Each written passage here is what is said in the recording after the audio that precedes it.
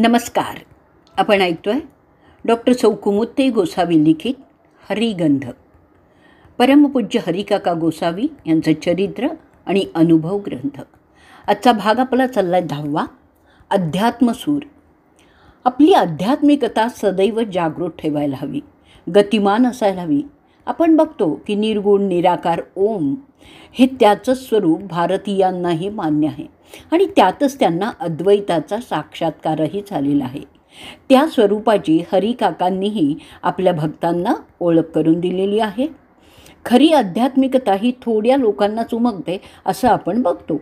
अध्यात्माचे डोंगर सर्वसामान्यांसाठी दुरूनच साजरे असेच असतात. त्यामुळे अस्सल अध्यात्माला कितीही सार्वजनिक करायचा हरिकाकांनी प्रयत्न केला तरी त्याला मानवी स्वभावाच्या मर्यादा पडतातच. अध्यात्मात सखोल अवगाहन करणं काही सोपं नाही आहे पण त्याचा परिसस्पर्शही दैनंदिन जीवनावर सुद्धा सुखद असाच होत असतो. माणसाचा वर्तन परिवर्तनाचा त्याच्याशी संबंध येतो. अध्यात्माचं सूर थोडेसं जुळून आले ना की त्या सुरांच्या राज्यातच प्रत्यक्ष शिरावं मनसोक्त भटकावं आणि अगदी बेभान व्हावं. साधनेत नामात रंगून जावं. म्हणजेच परमेश्वर भेटीचा आनंद मिळतो. त्या अनुभवाने रोम रोम फुलून येतं. आनंदाने सारं शरीर स्पंदित होतं. आनंद डोहातून आनंद तरंगच सर्वत्र उठलेले दिसतात.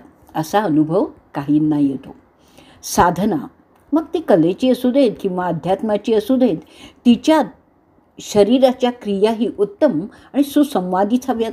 साधनेच्या अंतर्गत असणारा मी साधनेमुळेच निर्गुण होतो. तो स्वतःचा असूनही स्वतःचा नसतो तो एक विलक्षण अनुभव असतो. आपले जगणे आपल्याच साठी असावे. आपले जगणे आपल्याच साठी असावे अबोल आणि एकटे. अबोल आणि एकटे. अशी एकांताची मनाला कधी ओढही लागून जाते. आणि मग साधनेत रंगून जाताना श्रद्धा आणि विश्वास शब्दापलीकडे अनुभवून पाहावे लागतात. डोळ्यातून पाझरताना त्यांचं रूप उगवतीच्या आकाशासारखं दिसतं. विश्वास तसा देताही येत नाही आणि घेताही येत नाही. कारण कारण तो गणिताच्या कोणत्याच चौकटीत बसत नाही. मात्र त्याला प्राणापलीकडे जपावं लागतं. उडून गेला तर कळत नाही. मग त्यासाठीच तर काकांनी विश्वासाची फुलं आपल्या भक्तांच्या मनात सतत फुलवीत ठेवली आहेत.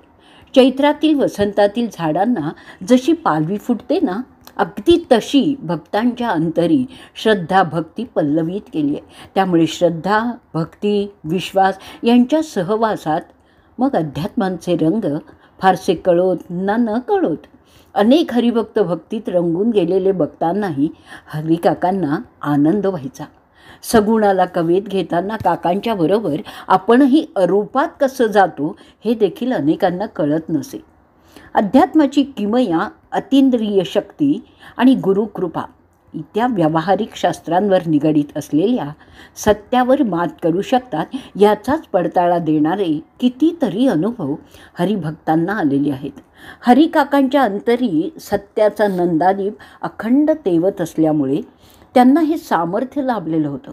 आपल्या बुद्धिबळावर एखाद्या विद्वानाने काकांच्या समोर कितीही लबाडी करण्याचा प्रयत्न केला ना तरी काका त्याची लबाडी तर चव्हाट्यावर आणीतच पण सत्याचा असा काही प्रकाश त्या व्यक्तीवर टाकायचे की त्याची काकांबद्दलची जिज्ञासा तीव्र होऊन जायची. काकांशी संवाद साधण्यासाठी मग त्या व्यक्तीचं मन झेप घेत राहायचं. एक अनामिक ओढ त्याच्या मनाला लागून राहायची. इंग्लंडसारख्या परदेशातही माझे बरेच दिवस वास्तव्य असल्यामुळे तेथील साधू संत मी दीर्घकाळ पाहिलेले आहेत.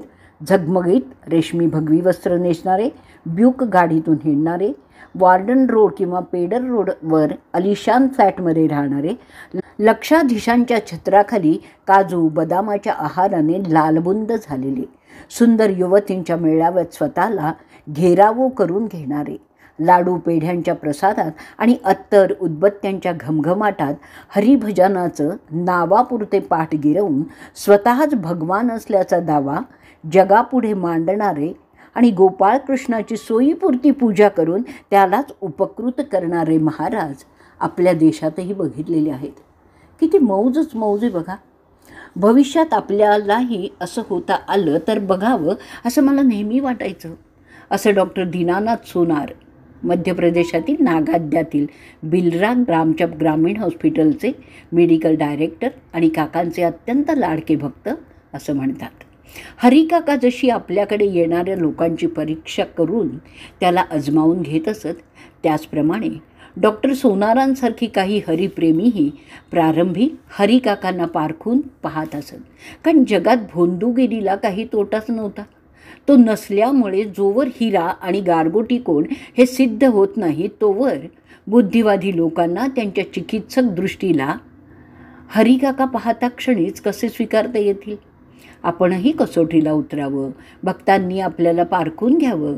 डोळसपणाने लोकांनी आपल्याला स्वीकारावं यात काकांनाही आनंदच वाटायचा. आणि म्हणून तर त्यांना असे चिकित्सक भक्त अधिक आवडत असत. त्यांच्याशी विविध विषयांवर तासन तास चर्चा करण्यातही त्यांना मौज वाटत असे. मात्र असे प्रसंग परस्परांना फारच कमी अनुभवता आले आहेत याची खंत काकांनाही होती. आपणही इच्छा असताना देखील काकांशी अधिक काळ चर्चेद्वारे संवाद साधू शकलेलो नाही आहे त्या निर्भेळ आनंदाची लयलूट आपल्याला भरभरून करता आली नाही आहे याचं शल्य काकांच्या अशा मोजक्या भक्तांच्या अंतरी राहून गेलं खरं तर असे प्रसंग अधिकाधिक अनुभवाच्या सागरात मिसळले गेले असते तर? तर त्या सागराची जास्त खोली गाठून त्यातील तळाचंही दर्शन घेता आलं असतं. परंतु असा सत्संग भरभरून लाभायला तेवढंच भाग्य लागतं हे मात्र खरं आहे ना? अध्यात्म हे अनुभूतीचं शास्त्र आहे आणि अनुभूती साधनेशिवाय येत नाही. त्यासाठी वैयक्तिक साधना वाढावी यासाठीही सत्संगातून अनुभूतीची तोंडओळख करून देण्यासाठी काका काही प्रमाणात आणि काही वेळा प्रयोगही करीत असत. भगवंत हे विश्वनिर्मितीचं मूळ आहे हे ध्यानी आणून देत असत. सत म्हणजे पूर्वी होतं आज आहे आणि पुढेही असेल असं सर्वकालीन अविनाशी रूप ते भगवंतांचंच असतं. आणि हेच सत विविध रूपांनी प्रकट होत असतं. असतं आणि म्हणूनच त्याला चित असं म्हटलं जातं. ते आनंददायी असतं म्हणून देवाला सच्चित आनंद रूपात आपण बघतो म्हणजे सच्चिदानंद. हरिकाकांनाही त्याच रूपात बघावं. हरिरूपात हरिपूजेत बघता बघता आपल्याला कसे मिसळून जाता येतं हे अनेकांनी अनुभवलेलं आहे. भक्त जसा भगवंताला ओळखतो आणि साधनेने त्याला आपलासा करून घेतो ना आणि मगच त्याला आपल्यासाठी हक्काने राबवतोही तसेच काका भक्तांना देव मानून त्यांना आपलंसं करून घेत असत आणि नंतर त्यांना त्यांच्या आत्मिक उन्नतीसाठी राबवीत पण असत. ते म्हणायचेच कोण सांगतो याला महत्त्व नाही? तर काय सांगतो याला महत्त्व आहे? अगदी तळागळातल्या लोकांची अज्ञानाने पिडिलेल्यांची काकांना अधिक काळजी वाटायची. त्यांचं पूर्वकर्म त्यांच्या डोळ्यांसमोर उभं टाकायचं आणि त्यांची त्यातून सुटका व्हावी म्हणून त्यांचं अंतःकरण तुटायचं. त्यांच्यासाठी नुसतं शास्त्र सांगून उपयोगाचं नाही आहे कारण ते सात आंधळ्यांनी वर्णन केलेल्या हत्तीच्या परिचयासारखं होईल हे त्यांना ज्ञात होतं. बुद्धी जिथे थांबते तिथेच अध्यात्म सुरू होतं. काकांनी अध्यात्माची ओळख अशा अज्ञानी जनांना नामातून भजनातून सत्संगातूनही करून दिलेली आहे. आपल्या सेवेच्या निमित्ताने तर कधी त्यांच्यावरील संकटमुक्तीसाठी दिलेला नियम पाळण्याच्या हेतूने त्यांना काकांनी सत्संगाचा अधिकाधिक लाभ करून दिला आहे परमतत्व हे आत्मतत्वच असल्यामुळे ते सर्वत्र भरून आहे याची नकळत त्यांना जाणीव करून दिली आहे. माया आणि आत्मा हे दोन्हीही वेगळे आहेत. मायेत राहून मायेपलीकडचं कसं पाहता येणार? असं न कळणाऱ्या भाषेत प्रश्न विचारून त्यांना कोड्यात टाकण्यापेक्षा त्यांना त्या परतत्वाचा सत्संगातून परिसस्पर्श करून दिला की त्यांच्याही जीवनाचं सोनं होऊन जाईल अशीच काकांची भूमिका होती. हरिकाका गोव्यात तळावलीला अनिल गुमास्ते यांच्याकडे पाद्यपूजेसाठी आलेले असताना कीर्तनकारांना त्यांच्या हातून श्रीफळाचा प्रसाद देण्यात आला. त्यावेळी काकांनी सांगितलं आणखी एका कीर्तनकाराला प्रसाद द्यायचा बाकी राहिलेला आहे. कोण ते कळे ना? शोध घेता घेता दत्ताराम आमशेकर यांचं नाव पुढे आलं. ते एका कोपऱ्यात बसलेले होते. काकांनी त्यांना मोठ्या प्रेमाने प्रसाद दिला. आता ते काणकोण या मुक्कामी एका हायस्कूलमध्ये संस्कृत आणि मराठी शिकवतात आणि फावल्या वेळात हरिकीर्तनही करतात. शिरोड्याचे डॉक्टर अश्री बखले या प्रसंगाचे साक्षी आहेत. हरिकाकांनी अशी कितीतरी माणसं घडवलेली आहेत. निष्काम कर्माच्या वाटेने वाटचाल. लहानपणापासून लोककल्याणासाठी लाख मोलाची कामं करूनही हरिकाकांनी आपलं मोठेपण कधीही मिरवलं नाही. एकांतात रमणारं त्यांचं मन कधी प्रसिद्धीच्या झोताकडे झेपावलंच नाही. उलट त्यांच्या कार्याची लोकांना ओळख पटायलाही सुमारे दीड तपाचा अवधी उलटावा लागलेला आहे. खरं तर हरिकाकांनी आपल्या निष्काम भावाने कार्य करीत राहण्याच्या पद्धतीतून लोकांना एक वस्तुपाठच दिलेला आहे. माणसं घडवण्यात माणसांना मोठेपण मिळवून देण्यात काकांनी मोठेपण मानले कोल्हापुरातले डॉक्टर पी. बी. भद्रे हे स्वतः कुशल असे विश शल्यविशारद पण काकांनी अनुनुभवी डॉक्टर दीनानाथ सोनारांच्याकडून यशस्वी शस्त्रक्रिया स्वतःवरच एकोणीस मार्च एकोणीसशे पासष्ट रोजी करून घेतली आणि डॉक्टर सोनारांचं आत्मबळ वाढवलं हेही एक उदाहरणच आहे. विख्यात चित्रपट अभिनेते चंद्रकांत मांढरे यांनी आपले कुलगुरू बाबा गजबर यांना त्यांची इच्छा नसताना वीस ऑक्टोबर एकोणीसशे अठ्ठावन्न रोजी हरी काकांच्याकडे नेलं. तेव्हा काकांच्या तेजस्वी मुद्रेकडे ते एकटक बघतच राहिले. त्यांना त्या रूपात अक्कलकोट स्वामीच दिसले. कारण बाबा हे स्वामी समर्थ भक्त होते.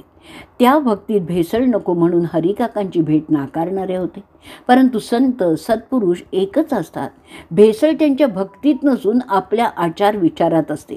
हे काकांनी आपल्या अंगभूत सामर्थ्याने त्यांच्या ध्यानी आणून दिलेलं आहे. आणि पुढे बाबांच्या नित्य मानसपूजेत हरिकाकांचाही समावेश झाला. बाबांनी काढलेलं हरिकाकांचं तैलचित्र अतिशय मनोहरी आणि प्रासादिकच आहे. ज्याच्या त्याच्या कार्यानुसार ज्याला त्याला कृपा प्रसाद मिळायलाच हवा असा तर काकांचा खाक्याच होता. एकदा आपल्याकडे प्रथम आलेल्या लोकांना त्यांनी विचारलं कोणाकडे विडी सिगरेट आहे का? अशा प्रश्नाने जर ते अवाकच झाले.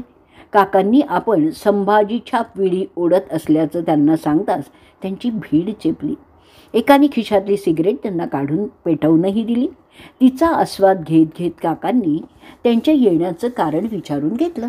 आणि ज्या पोस्टमास्तरवर अकारणच बालंट आल्याने निलंबित होऊन उपासमार होण्याची पाळी आलेली होती त्याच्या हातात स्वतःच्या हातातील सिगरेट देऊन त्याला ती ओढण्यास सांगितली. आणि ही अखेरची अशी म्हणताच मंडळी दचकली. तेव्हा यापुढे त्यांनी सिगरेट ओढू नये असा खुलासाही काकांनीच केला. माणूस एखाद्या संकटात सापडला की भीतीपोटी सद्वर्तनापासून अधिकाधिक ढळत जातो. त्यामुळे त्याचा अधपातही होतो. तेव्हा व्यसन हा दुःखावर उपचार नसून दुःखाला तर पुरस्कारच आहे. अशा स्थितीत तर माणसाने अतिशय शुद्ध आचरण ठेवल्यास त्याचं कल्याण त्याच्याच हातून घडत असतं आणि हाच काकांच्या कृतीचा अन्वयार्थ आहे. काका तर लोकांना जवळीक वाटणारी विढी ओढण्यासारखी कृतीही वरपांगी करीत होते. मात्र त्यात ते अडकत नव्हते. अभ्यास न करता नापास होणाऱ्यांसाठी माझा मंत्र नाही असं काका ठासून सांगायचे. आधी अभ्यास मग मंत्र असाच त्यांचा प्रयत्नवादी दृष्टिकोन होता. मंत्रांनी मुलांचा आत्मविश्वास वाढतो असा त्यांचा मानसशास्त्रीय दृष्टिकोन होता. आपल्या कर्माची पद्धती आपण नीट तपासून पाहिली पाहिजे. आपण करत असलेल्या कर्माने जर आपल्याला समाधान मिळतं आपला लाभ होतो तसं समाधान दुसऱ्यांनाही मिळावं त्यांचाही त्यातून फायदा व्हावा अशीच आपल्या कर्माची दिशा असावी. अन्यथा आपण आपल्या कर्माची दिशा बदलणं अत्यंत आवश्यक असतं. आणि तरच कर्म सुखदायक ठरतं. नसता चोराला चौर्य कर्माने घबाड मिळाल्याचा आनंद आणि ज्याचं चोरलं जातं त्याच्या अंतरी वेदना त्याचा तळतळाट असं कर्म हे कुकर्मच ठरतं. त्यांचे परिणामही भोगावे लागतात. एकदा एखाद्याच्या भाळी चोर म्हणून शिक्का पडला ना की पुन्हा समाजात प्रतिष्ठा त्याला मिळतच नाही.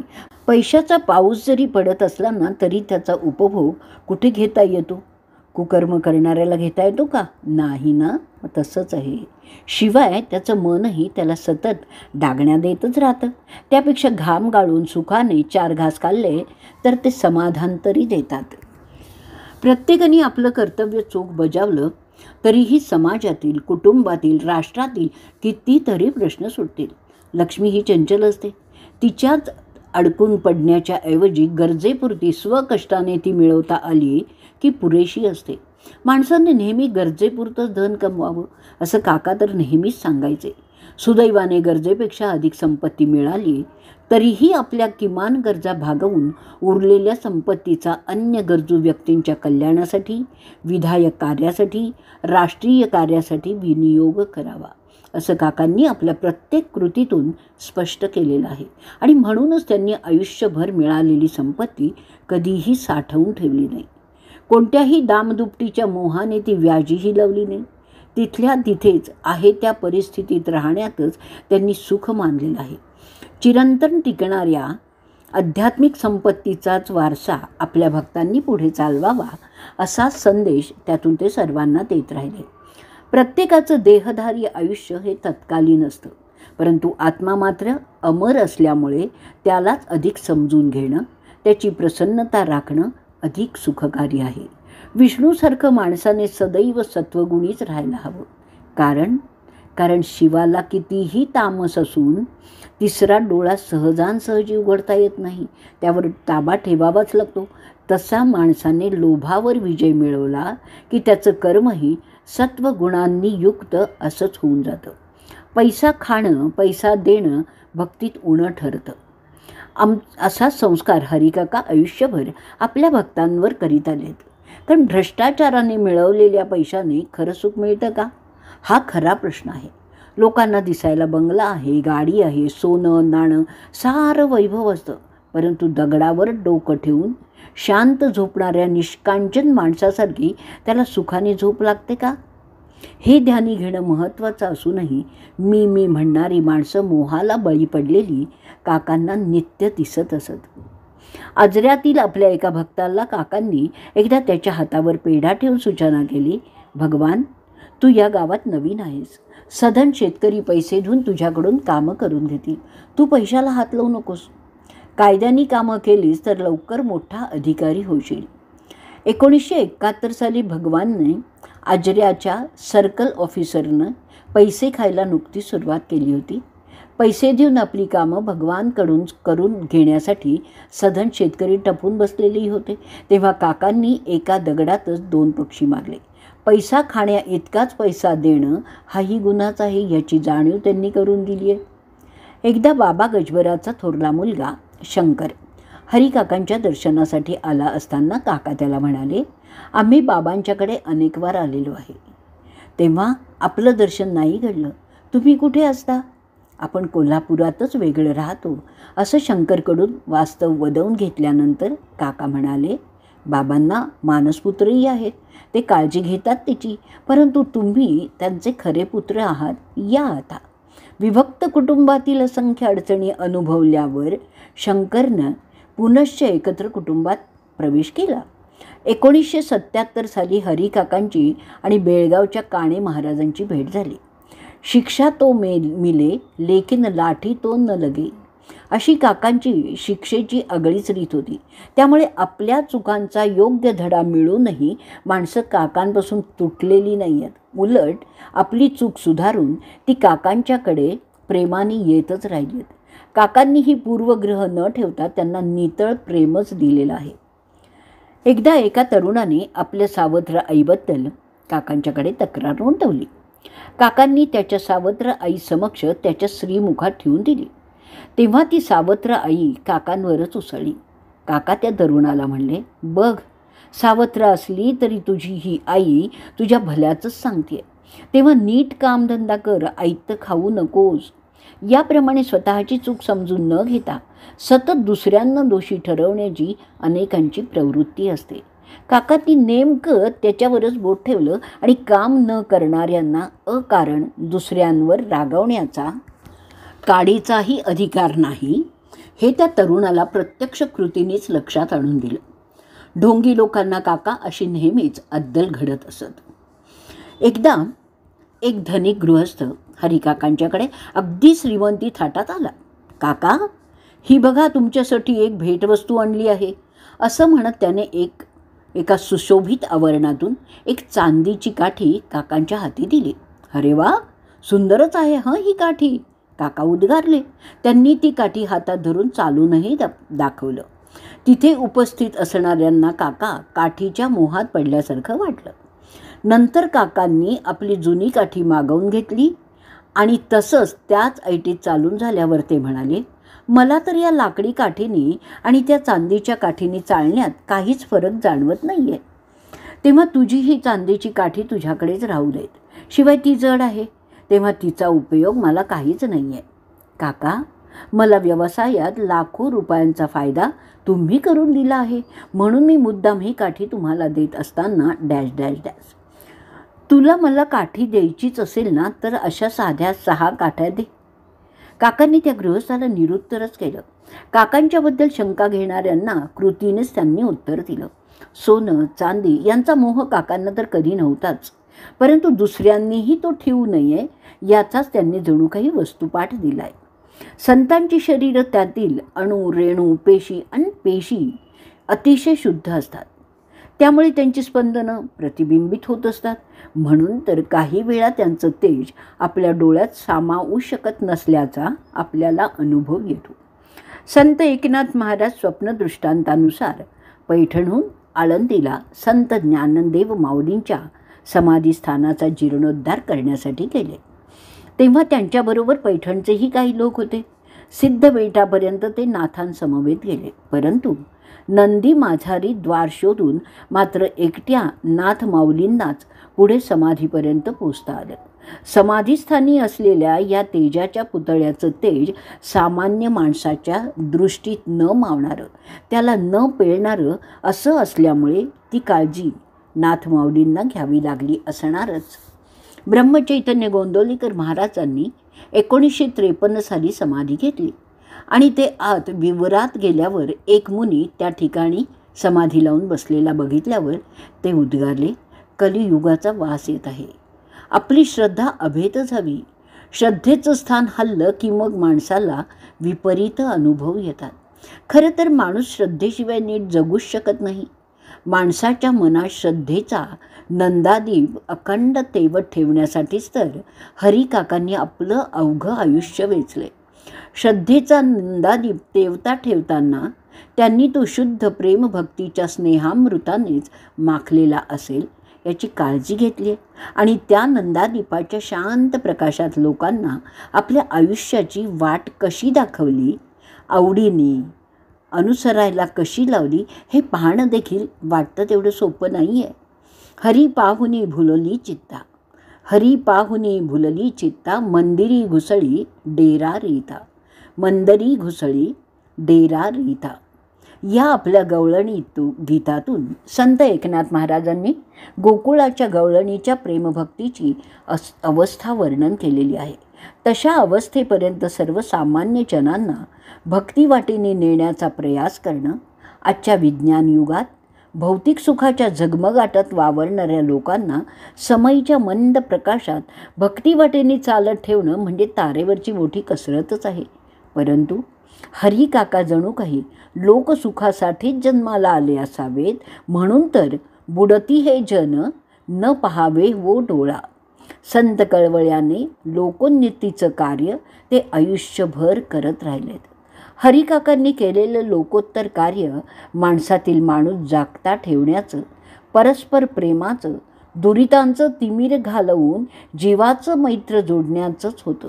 आणि त्यांनी स्वतः देखील माणूस या शुद्ध भूमिकेत राहूनच ते केलेलं आहे हे विशेष आहे.